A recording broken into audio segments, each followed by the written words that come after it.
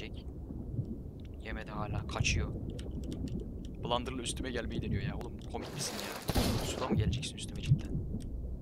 Are you really trying this man? You're gonna blunder me in the water.